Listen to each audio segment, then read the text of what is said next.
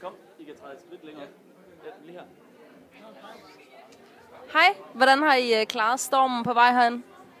Taxa. Vi kom med stormen. Ja. Hvordan, øh, hvor, hvor har I købt jeres tøj hen? Det er ret flot. Noget af det er noget, vi har fået af diesel. Og, alt, We're sponsored by Diesel. og det andet, det tror jeg bare, vi har skrabet op forskellige steder. Okay, hvor, hvor, hvordan har I tænkt jer at fejre jul og nytår i år? Øh, hyggeligt. Godt. det et eller andet sted, hvor det ikke blæser. Er der nogle bestemte planer? Jeg skal til Nå, Norge, hvis du vil ski. Christian skal til Norge. Vi andre, vi har ikke regnet det endnu. Jeg tror, vi, vi har først fri efter, øh, efter i aften.